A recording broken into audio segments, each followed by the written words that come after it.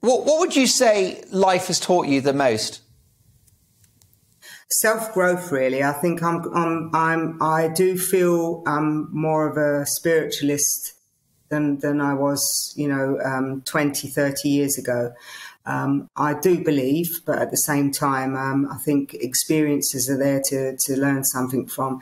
My athletics career was wonderful, but I far more enjoyed the journey of it than actually winning the gold medals. I mean, the gold medals are only there to say that you actually achieved, but the real achievement was the journey. And um, for me, you know, self growth is the most important thing. We can always learn to the day we die. So, and giving back and helping others, so important.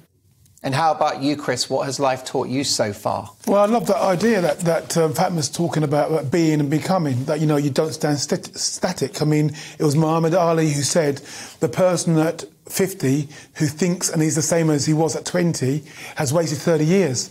And so, just hearing Fatima talking about that growth, being and becoming, and embracing each moment because they have a beauty of their own. So, like Fatima, I had a phenomenal athletic career. I've had a beautiful life, but I enjoy my here and now.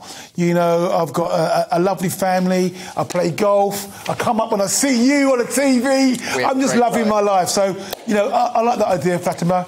Continual growth and development.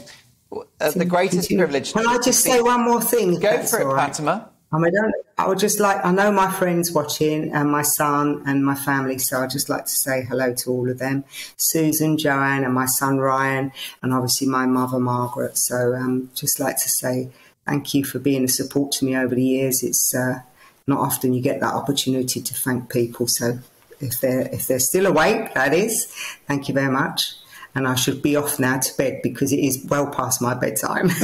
yeah, it's a bit late for an athlete, isn't it? Uh, well, you're clearly an amazing mum and an amazing daughter. Fatima Whitbread, do come and see us in the studio next time you're in London. Fatima Whitbread, MBE, and my thanks to the brilliant Kriss Akabusi for joining that conversation.